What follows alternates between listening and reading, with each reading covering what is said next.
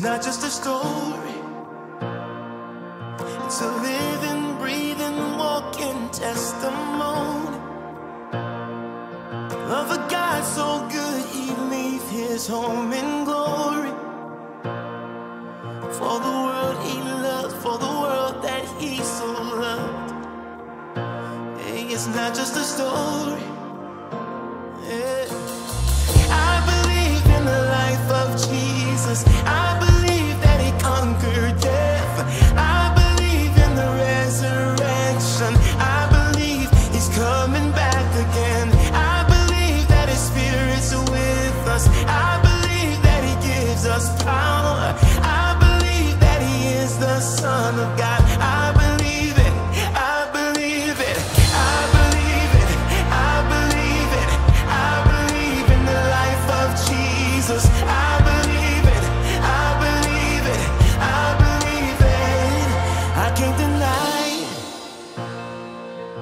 fazer.